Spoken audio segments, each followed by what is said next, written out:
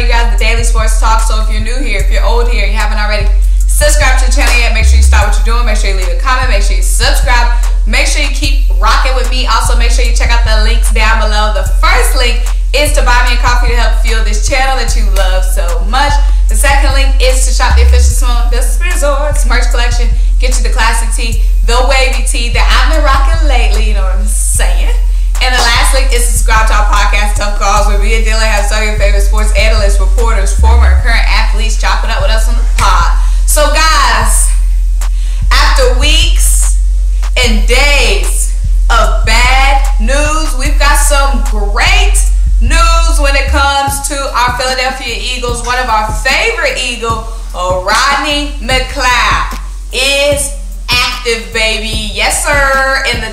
where we needed him the most, Rodney McLeod has been activated. Week four, Kansas City Chiefs. We couldn't need him more. That's great news, especially since we've just been getting news about injury after injury after injury after injury. Rodney McLeod is back. So we know in against the um,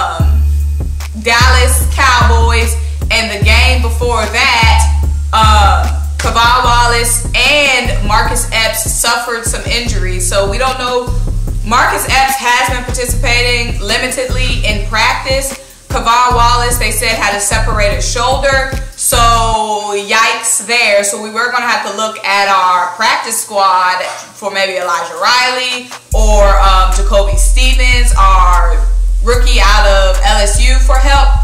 But thank goodness Rodney McLeod got activated. I'm super excited. Like I said, we've been waiting for this moment for Rodney McLeod to be black, back clear. And I'm super glad that they've been taking their time with Rodney McLeod. So now that he's back, he's to be back, back. Like we ain't rushing back. So we know that we needed this great news, especially going against the Kansas City Chiefs. We can use all the defensive help that we can get, baby.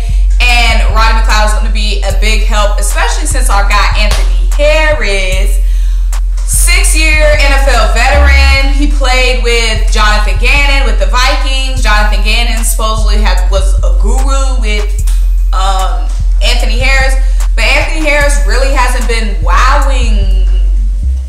He really hasn't been wowing. And K'Von Wallace is playing okay. Marcus Epps, I think, has been playing above himself when he was stepping up and um, to fill that void when K'Von Wallace went down.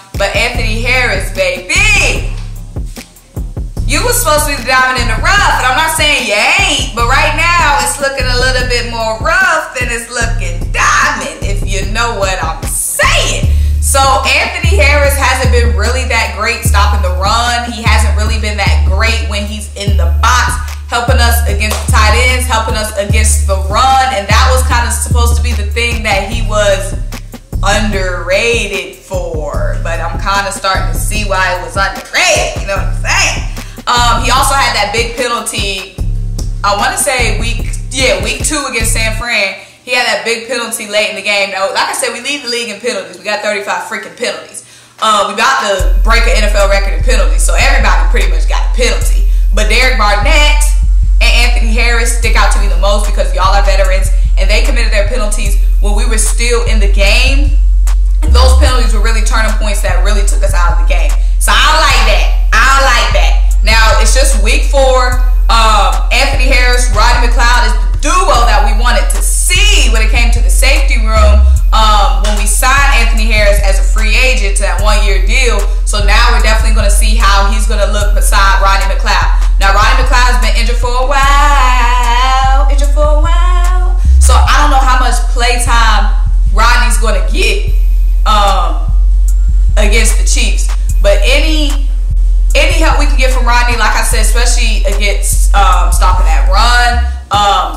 help against Travis Kelce. any help we can get when it comes to getting Rodney back and just being that veteran on the field. It's just another veteran to add. Like I said, Darius Slay and Steven Nelson have been the shining spot the bright spot in our secondary. Like I said, um, we're ranked number four right now in the NFL in least amount of 15 plus play passing plays given up. I know it's really chunky. So we're top four and not giving up passing plays 15 or more yards. And that's all credit to Darius Slay and Steven Nelson. We haven't been giving up those big bombs downfield, but we have been letting guys dink and dive.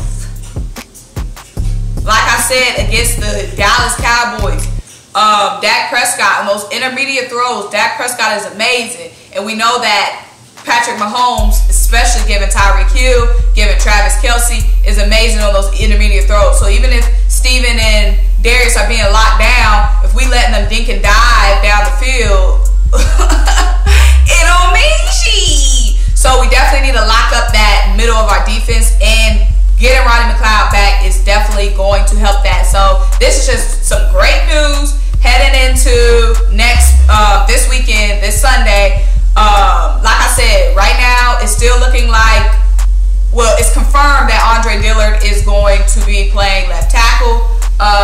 course, he didn't do the greatest last week, but he hasn't played in a while and started in a while. He hasn't started since November 2019.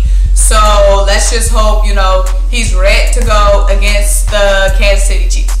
Um, that's super exciting. We also just going to be continuing to monitor our guy Jalen Hurts. So the last thing I want to address is, first of all, who said they gave up on Jalen Hurts? Not I, said the cat.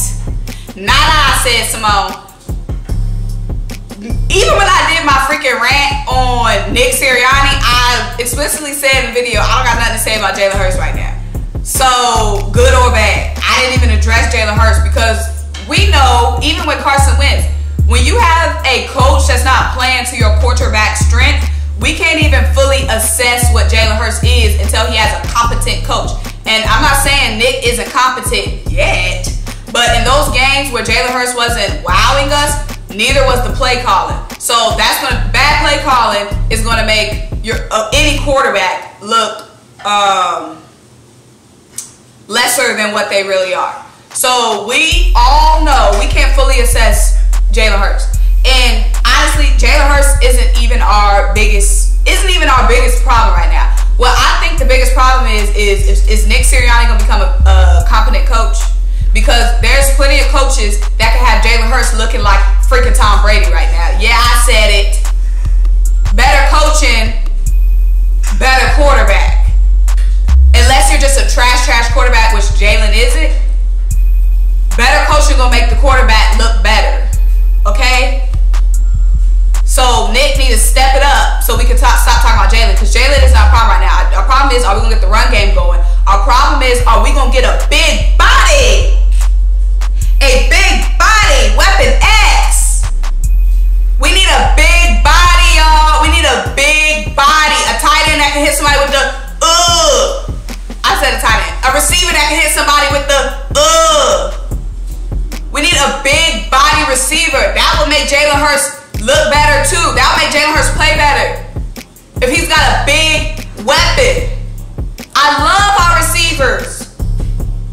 none of them are big body. And that's not taking away anything from our receivers. That's just saying, as a whole, we need to add a, a big body X like Travis Fulgham was, a bigger target. That would make it harder for corners to cover and that'll make it for easier for Jalen Hurts to throw open. Because a wise man, a very wise man, told me great quarterbacks can throw their receivers open. And that's facts. And what receivers are usually the ones that get thrown open?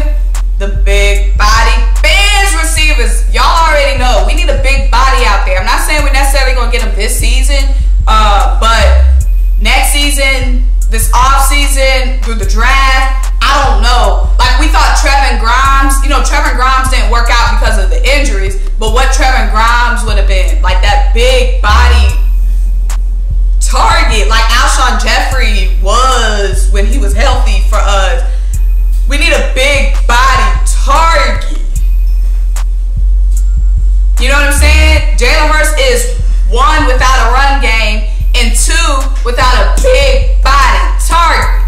Give him those two things, and I bet ya, I bet ya, he will instantly look a billion times better. And no, before y'all start whining, I'm not saying he doesn't look right now, but I'm saying if he had a, a coach that was coached to his strengths, getting the run game going, and a coach that's gonna put that R back in the RPO and get him a big body receiver, we need that. And we said that um, a lot of you guys, and I said it before the season started, um, especially when uh, we put Travis Fulgham on the practice squad we all said we need that big body wide receiver. And that would definitely help Jalen Hurts. Any quarterback needs that. Any quarterback needs that. We already know. Run game and a big body weapon. Um, but yeah, like I said too, a wise man once told me because you know they were pulling up somebody. I've seen some people floating around the comments saying um, Devonta Smith was open 20 times. Um, I believe that's what they said. Devonta Smith was open 20 times. Um, and Jalen wasn't going to him. I think that's what had some um, Eagles fans frustrated. And the thing that I think has Eagles fans frustrated is because, you know, Jalen Hurts was talking all that big she, but you gotta be a big doctor. You know what I'm saying? It's all in that confidence. You gotta have that confidence. But when you say things like rents due, you know, and you don't make them deposits on the field, then some fans are gonna start saying, you know,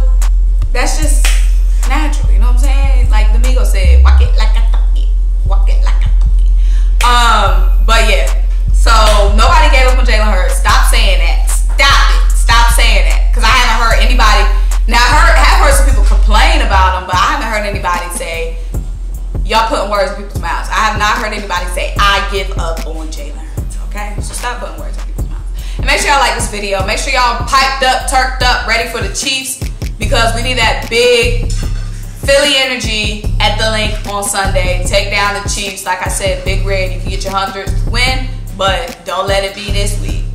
Don't let it be this week. Make sure you like this video. Make sure you leave a comment. Make sure you subscribe. And keep rocking me. Until I you guys next time.